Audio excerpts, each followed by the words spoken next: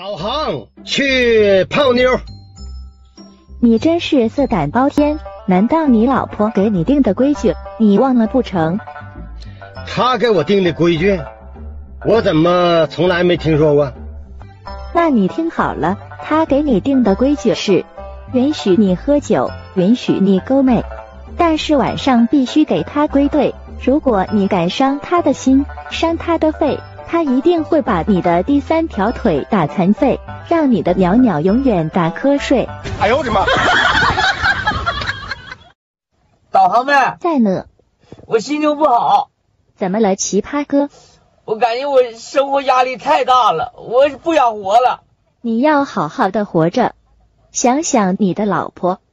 我老婆跟人跑了。想想你的身边兄弟。我老婆跟我兄弟跑的。那想想你的孩子，我孩子是我老婆跟我兄弟咱俩生的。那你还是死吧，活着没啥意思了，一路走好。气死我了！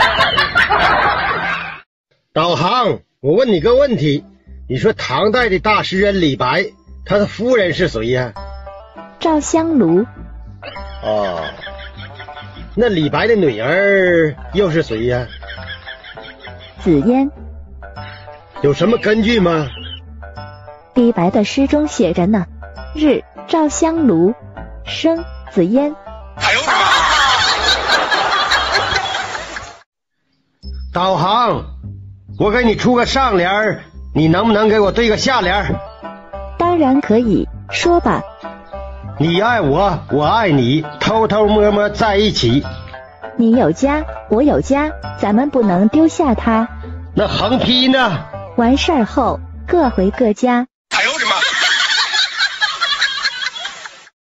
导航去医院看病，请问你是看中医还是西医呢？这有啥区别吗？当然有了，西医告诉我们要经常去做做体检，早发现早治疗；而中医告诉我们不难受不疼痛就别乱检查，别没事找事。西医让你明明白白的死去。而中医让你稀里糊涂的活着。总的来说，西医治标，中医治本。那我要中西医结合呢？把你治成标本。哎呦我的妈！